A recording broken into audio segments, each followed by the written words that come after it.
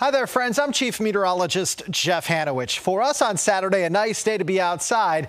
That being said, we did have some pesky clouds around every now and again. We enjoyed a partly sunny sky as we started the weekend, but we were dry. The showers, the thunder showers held at bay in areas mainly to the west of us. So this evening, we're looking at temperatures falling from the 80s at 7 into the 70s by about 9 overall. It looks like skies tonight are going to be fair. And tomorrow looks to be a day where we're going to be, I think, actually even a little bit brighter. Okay, I think we're going to see even more sunshine on Sunday. It looks like temperatures will start out in the 60s for us with high temperatures in the lower 90s. So Sunday is going to be a little bit hotter outside for us because of the additional sunshine. Cannot rule out a stray late day thunder shower on Sunday, but most of us are dry. However, we're going to have a better chance for scattered showers and thunderstorms early to middle parts of the next work week. By mid to late next week, we're really going to heat up again with temperatures between about 90 and 95. In addition to that, the tropics are quiet now. However,